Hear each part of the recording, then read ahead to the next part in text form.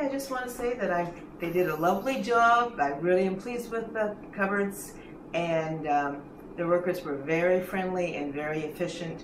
They answered all my stupid questions, and so I'm very happy.